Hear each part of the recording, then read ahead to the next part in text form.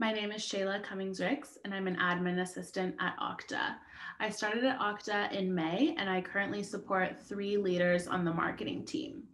My day typically starts with checking my phone, scrolling through any urgent messages and emails to see what needs to be addressed first, uh, taking care of those items, and then getting to work on any of the emails that came in overnight.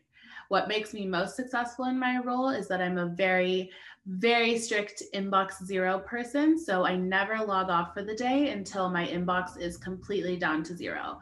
That way I can quickly adjust for anything that comes in overnight the primary responsibility that I have is managing the calendars of the leaders that I support.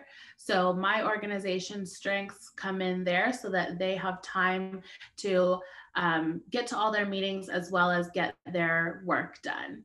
I schedule, you know, everything for them from with one-on-ones with their team members, group meetings with other leaders across the company, as well as the fun stuff, the team events and ordering gifts for people. It gets stressful. I currently manage two West Coast leaders and the third one is in East Coast time. So time zones are something I've, you know, become very familiar with and definitely present the biggest challenges, especially being with a global company.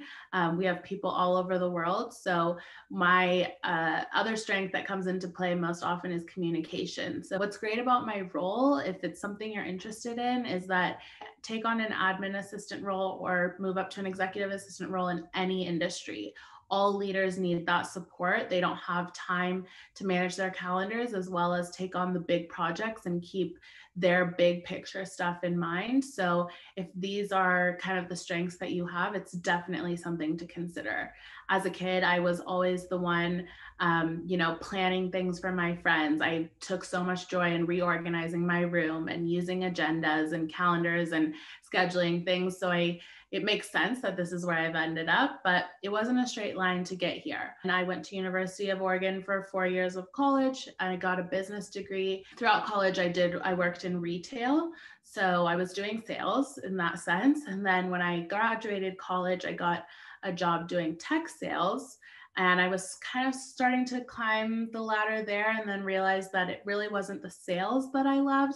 It was the people that I worked with and having that great bond with my teammates. So I decided to kind of reassess and see, you know, what my strengths were. So in sales, I was successful because I was an effective communicator and I stayed on top of my game. So I decided to try something new and take on an assistant role and in that, I got to not only use my strengths to um, support someone else and so that they could focus on their strengths, but I also got to take on the role of creating, you know, a fun place to be. You want work to be somewhere that people actually want to wake up and go to and i love being the person that kind of provides those fun outlets. So it's not just you know work and email all the time. It's something that brings people a little bit more joy than that it was the organization and communication that made me most effective in this role. So when I got the opportunity to join Okta and take on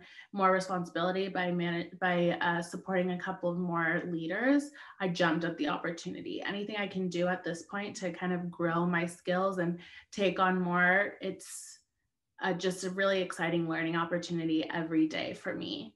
I think the most important things that I learned in school K through 12 as well as in college is really communication and working with other people. So, taking advantage of any group project that comes up to kind of be the person that keeps people on track and be able to practice that skill and have, you know, the time management um, resources and have that become a strength definitely made me more successful.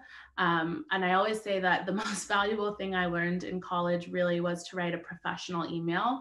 You don't realize really how much goes into that until you'll get in those awkward situations. So when it's you're with a professor and you need to you know explain something that went wrong or ask for an extension or you know maybe you missed something because you zoned out in class being able to follow up and say you know this is what happened taking responsibility and then being professional and providing solutions or whatever it is that you need to communicate and ask for. Those stressful situations are what make writing a professional email that much easier for anything else that may come up. And that's something that I've used in all aspects of my life. You know, if I am dealing with a parking ticket or a customer service team, um, or at work, obviously. And that's something that you continue to improve on constantly, making your communication clearer, more concise, and more efficient. Um, definitely something that I've even continued to learn and um, get better at this year with everyone being remote. Um, it's all pretty much written communication unless you're on a Zoom call, and nobody's looking for more Zoom calls right now. So, the more efficient you can write an email, the less Zoom calls you have to be on. So, that's definitely been something that I carry with me throughout my entire life. And I, to this day, still say, like I said, is the most valuable thing that I learned in college. Um, I think part of what's so great about being at Okta is having great coworkers.